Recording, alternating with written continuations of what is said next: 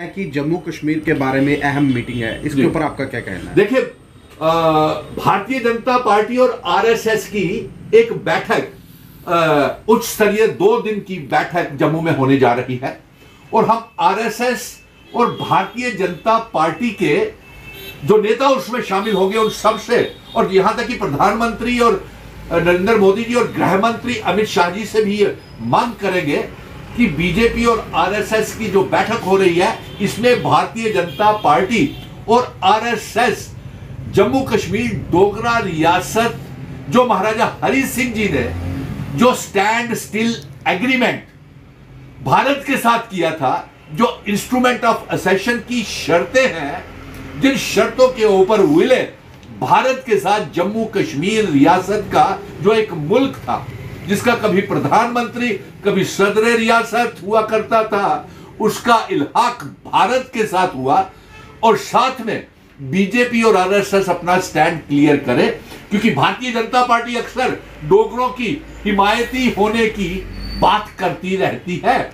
इसलिए हम ये जानना चाहते हैं कि महाराजा हरि सिंह जी के बनाए हुए कानून, दफ़ा 370 स्टेट सब्जेक्ट जम्मू कश्मीर डोगरा रियासत की वापसी और unification of Jammu Kashmir Ladakh PoK Gilgit Baltistan Jammu Kashmir रियासत का कब हिस्सा बनाएँगे?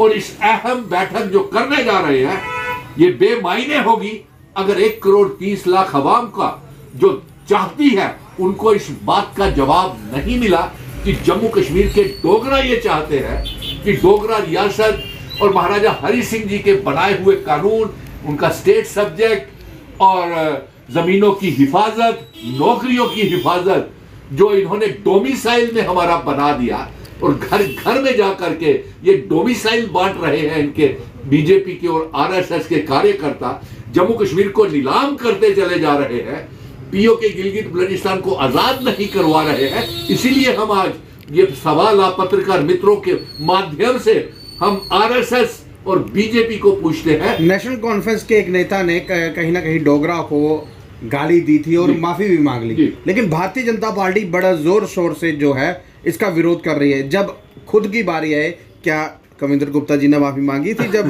डोगराओं की बात की गई थी? जी आपका कहना बिल्कुल सही है। मुझे लगता है कि जिसने ये बचकाना बयान जारी किया था उसने शायद माफ़ी मांग लिया आपके पत्रकार और सोशल मीडिया में ही मैंने ये देखा था। लेकिन इससे पहले ये भारतीय जनता पार्टी ये जवाब दे कि वो जो डोगरों की हिफाजत रहनुमाई करने का दावा करती है वो तब डोगरे कहा थे जब डोगरा जम्मू कश्मीर रियासत तोड़ी जा रही थी।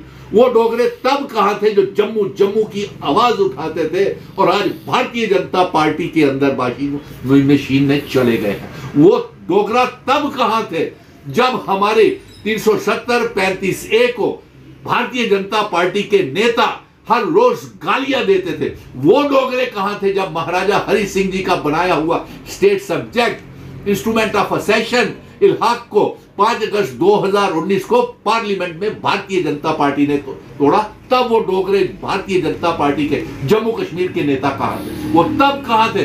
जब हमारे बुज़ुर्गों की पगड़ी हमारे हिंदू, मुस्लिम, सिख, ईसाई, गुज्जर, बकरवाल चिनाव वैली पीर पंजाल की पगड़ी को ठोकर मार के भारतीय जनता पार्टी ने डोगरा लोगों की पगड़ी को, हमारे डोगरा महाराजाओं की पगड़ी को पाँव के तले कुचल दिया था। तब ये डोगरा लोग कहा थे? ये डोगरा लोग तब कहा थे? जब हमारे स्टेट सब्जेक्ट को खारिज करके पीएमओ मंत्री ने पहला पीआरसी डोमिसाइल निकाला था पीआरसी को फाड़ करके। तब वो ये, इनके मेंबर पार्लियामेंट्स और इनके नेता कहा थे? जब ये कैंप लगा लगा करके इनके बड़े बड़े जो मीटिंग में कल आरएसएस की और बीजेपी की मीटिंग में होंगे, ये जवाब दे। घर घर जा करके ये डोमिसाइल बांट रहे थे। हमारी जमीनों को बेच दिया इन्होंने। हमारी नौकरियों को बेच दिया। हमारी आइडेंटिटी कल्चर डेमोग्राफी इतिहास, डोगरा रियासत को बेच दिया। हमारा दरबार मुँह रोक करके भाईचारा खत्म कर दिया। डोगरा किस बात की ये अहमियत देते हैं? और तब कहा थे ये डोगरे? जब राजपूतों की और डोगरों की आंदोलन को ये कह करके इनके नेताओं ने इल्ज़ाम लगाया कि डोगरे और राजपूत तब एजिटेशन करते हैं, हड़तालें करते हैं, जब ये रिश्वत ले लेते हैं। इन्होंने रोड टोल प्लाजा लगवा दिए, इन्होंने स्मार्ट मीटर लगवा दिए, इन्होंने हमारे पावर प्रोजेक्ट बेच दिए, शराब की दुकानें आरएसएस और बीजेपी के ने शराब की दुकानें लीकोर माफिया दरबार मुँह बंद कर दिया। ये डोगरा कहाँ से है? ये नकली डोगरे हैं। इसलिए मैं आई आपको। अलग जम्मू अलग कश्मीर की बात की जा रही है। ऐसा लग रहा है भारतीय जनता पार्टी एक, एक और साजिश कर रही है। इलेक्शन इलेक्शन से पहले जम्मू कश्मीर को ऐसा लग रहा है अलग अलग कर दिया जाएगा। ये क्या सही? आपका ये कहना है कि भारतीय जनता पार्टी अपनी हार को देख करके क्योंकि सुप्रीम कोर्ट में हमने अपना स्पेशल स्टेटस 370 पैंतीस ए रियासत का दर्जा इलाहाक की शर्तें इंस्ट्रूमेंट ऑफ़ असेशन की शर्तें और स्टैंड स्टिल एग्रीमेंट हमें इंसाफ के तौर के ऊपर सुप्रीम कोर्ट से वापस मिलेगा। और इसको कमज़ोर करने के लिए आप पत्रकार मित्रों के बहुत से मुझे ये सवाल उठा रहे हैं कि भारतीय जनता पार्टी ये साजिश कर रही है कि शायद वो अलग कश्मीर रियासत बनाने की कोशिश कर रही है और अलग जम्मू रियासत बनाने की कोशिश कर रही है। ये कैसे डोगरे हैं? और ये भी सुनने में आ रहा है कि भारतीय जनता पार्टी शायद 371 देने के लिए तैयार है। अरे हम इसको नहीं मानेंगे। हम तो वो लेंगे जिस शक्ल में हमारे महाराजा हरि सिंह जी भारत के साथ इल्हाक जम्मू कश्मीर का लद्दाख का पीओके गिलगित बल्टिस्तान को हम इकट्ठा करना चाहते हैं। जम्मू कश्मीर रियासत का हिस्सा बनाना चाहते हैं। हम और बंटवारा नहीं चाहते हैं। हम क्यों 370 और स्टेट सब्जेक्ट हमारे महाराजा जी ने हमको दिया था? और ये 370 हमें भारत के संविधान में प्रेसिडेंशियल ऑर्डर के मुताबिक मिला था। आपकी जानकारी के लिए मैं पत्रकारों, बता दूँ 26 अक्टूबर 1947 को हमारे महाराजा हरि सिंह जी ने भारत के साथ असेशन जम्मू कश्मीर का जिन शर्तों के ऊपर किया था, उन शर्तों के ऊपर आरएसएस और बीजेपी का क्या स्टैंड है?